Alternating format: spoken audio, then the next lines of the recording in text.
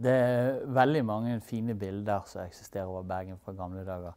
Skal jeg få lov til å velge én favoritt av alle de, så er det det bildet som vi har liggende her. Eh, dette gir en detaljert oversikt over Bergen. Eh, dette er det andre byprospektet som viser hele Bergen. Det første kjenner dere til, det er Skoleus-stykket. Eh, når det gjelder dette spesielle bildet, så kjenner vi ikke kunstneren. Eh, men vi vet at han har hatt en inngående kunnskap om Bergen. Hvorfor tror vi det? Jo, for her oppe ligger alle navnene på steder han har tegnet inn. Og her er det ganske mange sånne bergenske uttrykk i eh, tekstoversikten. Selv om vi ikke vet hvem som har eh, tegnet dette bildet, eh, så, så, er det ganske sannsynlig at det er en militær som har gjort det. På krigsskolen så lærte de seg å eh, tegne bygninger, og de lærte seg å tegne landskaper. Og eh, detaljrikdommen her, og fokuset på bildet Hvis dere ser, her har vi festninger, her har vi festninger, eh, her har vi festninger, her har vi festninger, og ytterst ligger Nordnes eh, eh, godt befestet. Eh, de detaljerte festningstegningene skulle på mange måter indikere at dette kanskje er tegnet av en offiser. Eh, byen vi ser i dette bildet, det er den eh, si, byen som vokste frem etter den store bybrannen i 1702. I 1702 så brant syv åttendedeler av byen ned. Eh, bybrannen i 1916 er småtterier i forhold. Og hele byen ble bygget opp igjen fra bunnen av. I dag så finnes det på å si, fremdeles noen små rester av byen fra den eh, gangen etter 1702. Du finner noen rester ute på Nøstet, du finner noen rester uh, ute i Skuteviken, du finner noen rester på Nordnes osv. I ytterkanten av byene finner du fremdeles spor etter den byen som ble bygget etter den store bybrannen. Det, si, hele bildet utgjør en helhet, og det er jo spennende. Vi, det på en måte Eh, vi ser at fjellene ligger som en krans rundt, i, rundt byen. Og så ser vi at de aller fleste av disse takene er rød teglstein. Og det på mange måter så fremhever det da byen rundt Vågen. Egentlig ganske flott. Og vi ser all skipsfartsvirksomheten som er på Vågen. Eh, eh, det er jo da med å understreke at, Danmark, at, Bergen er Danmarks-Norges eh, viktigste havneby. Eh, skal vi si noe om eh, når dette bildet faktisk er laget, eh, så går det an å anslå omtrentlig alder, for vi kjenner til noen bygg og deres historie. Eh, vi vet f.eks. at her ser vi bl.a. at triangelet med, den ligger her. Den ble bygget til Kristian 6. Eh, besøk i Bergen i 1733. Eh, vi vet at Nykirken, som vi ser her, eh, har, fikk et nytt spir etter den store brannen på strandsiden i, i 1756. Så vi vet at bildet må være eldre enn 1756. og vi vet at eh, Håkonshallen Vi ser at Håkonshallen ligger her med to tak. Dobbelt sutak heter det vel på fagspråket. I 1744 ble det bygget om, og så fikk det ett tak. På bakgrunn av det så kan vi, eh, så kan vi regne med at bildet er sånn Vi kan datere det til sånn omtrent ca. 1740. Den vanligste måten å komme til Bergen på i gamle dager, det var sjøveien. Man kom seilende inn, og det første som møter man, uh, man, møter da, det er alle befestningene. Uh, byen ble sterkt utbygget militært pga. de urolige tidene på slutten av 1600-tallet. Det medførte at på, på første del av 1700-tallet så er byen sterkt befestet. Det jeg har lyst til å gjøre nå, det er å ta eh, dere med på en byvandring i Bergen i 1740. Eh, helt nord i Sandviken så ser vi Her ligger Kristiansholm. Her ble det i gamle dager henrettet tyver. Men på 1700-tallet så er dette blitt en sterkt befestet eh, liten holme med masse kanoner. Innenfor så ser vi alle sjøbodene som ligger tett og tett i, i, i Sandviken. Sandviken på denne tiden er, ligger utenfor selve byen. Det er, det er Sandvikselven som, på en måte er bygrensen. Ser vi nøye etter i bildet òg, så ser vi alle repaslageriene som ligger eh, i Sandviken. Eh, det er jo med å vise at Bergen er en handels- og en skipsfartsby. Man trengte tre, et tauverk i byen Fortsetter vi lenger inn, så passerer vi Rottaugen. Ja, vi ser at, eh, at uh, utbyggingen i dag gjør at man kommer på nedsiden. Og så kommer vi til Skuteviken, som ligger som en sånn liten eh, forsted til, til, byen. da. Og eh, her er det jo da på å si, Vi vet at her er det jo en god del gamle 1600-talls sjøboder. Men her også bor det en rekke mennesker. Passerer vi Skuteviken, så kommer vi inn til eh, eh, Bergenhus. Her ligger da en rekke bastioner og kanonbatterier. Og vi ser det ligger tett i tett her. Og over Bergenhus så ser vi Svansborg, som det heter i dette prospektet. Eller det som vi i dag ville kalle for eh, Sverresborg. Også her er det tett bestykket med, med, med ulike former for skyts. Passerer vi eh, Bergenhus, så ser vi at Mariakirken ligger like nord for bryggeområdet. Mariakirken var jo i mange år tyskerne sin kirke fra hanseatenes tid. og Det var jo tyske gudstjenester her til langt opp på, på 1800-tallet. Mariakirken er jo et utrolig vakkert bygg både på utsiden og innsiden. Sånn som de aller fleste bergensere har et fint forhold til. Eh, fra Mariakirken så skal vi fortsette inn over Bryggen. Eh, vi ser Bryggen ligger her eh, innover, med tett i tett med skiper. Og så ser vi vippebommene som ligger her som blir brukt til å laste. Et karakteristisk og litt sånn spesielt trekk med, med Bryggen er at vi ser at det finnes omtrent ikke skorsteiner. Kjøpmannsstuen har skorstein, men ellers var det jo ikke lov å, å fyre opp med ild på, på, Bryggen. Man måtte bruke de små ildhusene som lå i bakgrunnen. Så det er et sånt trekk vi ikke tenker over i dag. Men så brant jo ikke Bryggen var jo et av de områdene som brant minst gjennom tidene. Det var en veldig streng kontroll med alt som het levende ild. Byggeforbudet etter bybrannen i 1702 skapte òg et sammenhengende hageområde som skiller da bryggegårdene og eh, de fine kjøpmannshusene i Øvregaten bak. Eh, disse eiendommene er på denne tiden hovedsakelig på norske hender etter hans hanseatene har forlatt Bergen. Og oppover over eh, disse eh, fine husene, så ligger det vi i dag kaller fjellet, som er hovedsakelig bebodd av håndverkere og dagarbeidere.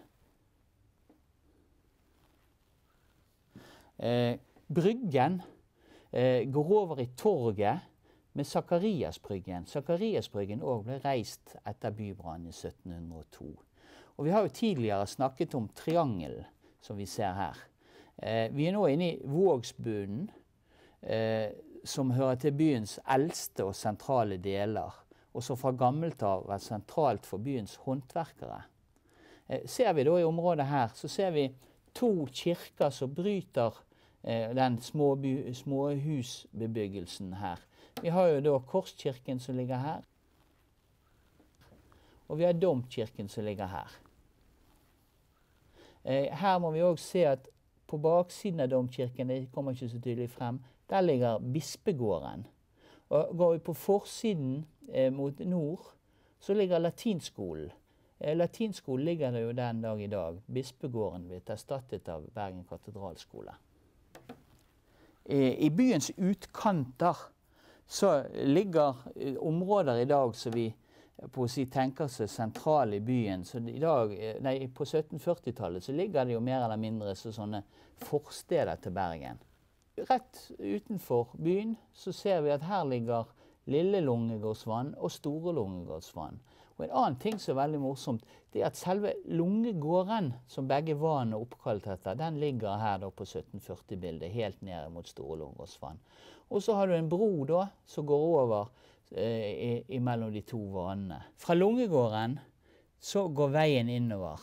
Og på veien innover mot byen passerer vi et lite forsted. Det er faktisk Marken, som ligger som en lite, liten grend for seg sjøl. Eh, Rett forbi marken, nedover mot, uh, mot uh, Lille Lungåsvann, så ligger Børnehuset. Eller det som i dag eh, kalles for Manufakturhuset. Det ble reist i 1600 og ja, hva var det, 46, så vidt jeg kan huske. Og eh, brant jo i 1702 og ble gjenreist som en av Nordens største barokke murbygninger. Det er et vakkert bygg, og det ligger jo der den dag i dag. Fortsetter vi lengre innover, så kommer vi innover til byens rådhus. Rådhuset ble jo da i sin tid bygget av Kristoffer Walkendorf Valkendorf som sin private bolig. Men i, i 1562 så gir han byen eh, huset som nytt rådhus. Da ble rådhuset flyttet fra bryggesiden og så over til der rådhuset er i dag. På, på, på, grunn av det så fikk han jo da eh, eh, trukket rådhusfunksjonene ut av områder som var dominert av tyskerne, og inn i et område som var dominert av bergenske kjøpmenn. Men, men, det var jo også en annen vei innover til byen. Det som var byens hovedvei. Byens hovedvei den gikk fra Statsporten og innover. Statsporten ble jo reist første gang i 1628, men den har jo vært endret mye.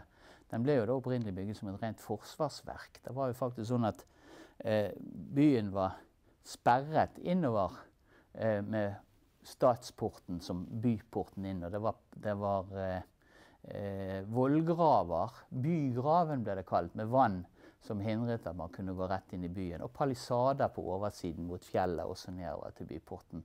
Så det var forsøk på å lage en militær innkransning av byen. Hvor vellykket det var, vet jeg ikke. Men seinere ble byporten brukt til andre ting, bl.a. til eh, innkreving av skatt på 1700-tallet. Den såkalte konsepsjonsskatten ble krevet inn her oppe i, i, i statsporten. Eh, og eh, det var en skatt som alle som leverte varer til Bergen, måtte, måtte betale. Ja, alle de som kom med store varepartier, de slapp, for da tenkte man at, at eh, det var en eh, på varer som skulle ut av landet. Da var det andre måter å skattlegge det. Men alle som leverte vanlige varer Eh, å si, eh, det var jo slakt, det var jo melk, det var jo ting som var, man trengte til byens eh, overlevelse. Eh, de måtte betale en viss del av verdien på disse varene for å få de inn til byen. Eh, når vi er nå her ute på Stadsporten, så kan vi jo gå nedover her også. Her ser vi jo da St. Jakobs kirkegård, eller St. Jakobs kirke. Et lite stykke lenger ned så ligger St. Jørgen kirke og med, med, med St. Jørgen hospital, altså Lepra-hospitalet. Så kan vi fortsette nedover gjennom byen. Eh, vi passerer Domkirken, som ligger på vår Eller østsiden, kan vi kanskje si. Og vi passerer Korskirken, som ligger på, på vestsiden. Og så fortsetter da byen, så, så, fortsetter da denne hovedveien helt frem til byens torg.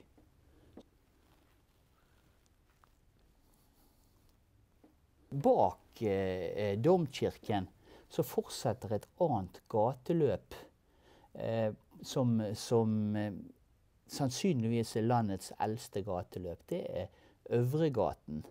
Eh, gaten går først gjennom en tett småhusbebyggelse, som vi ser her. Så passerer han over Vågsalmenningen, og der ligger Kristi Krybbe skole. Kristi Krybbe skole den er helt ny når dette prospektet er laget. Så vidt jeg husker, så fikk den vel sine statutter i 1739, og skolen ble vel kanskje tatt i bruk rundt år 1740. Eh, vel, eh, man fortsetter da videre utover, og her ligger det da mange fine bergenske kjøpmannshus. Her var det, var det på å si fine, store borgerboliger som, lå helt ut til Mariakirken. Nå skifter vi fokus litt, og så skal vi se på en annen del av byen. Her ser vi eh, stranden og Strandgaten. Det er byens største område og går like ut helt til Nordnes. Eh, nærmest torget så ligger storborgernes hus og sjøboder. Her holder faktisk byens rikeste til. Eh, bildet viser ikke det, men vi vet at innimellom de forskjellige gårdene her, så er det hoper som man kunne seile inn og laste av for å, i, i, i ly mot eh, eh, vær og vind. Denne karakteristiske bebyggelsen eh, fortsetter jo da forbi Nykirken. Og eh, stopper først her ute med Tollboden, som ble reist første gang i 1650-51. Nykirken sto ferdig ca. 1621, og i denne bydelen sognekirke.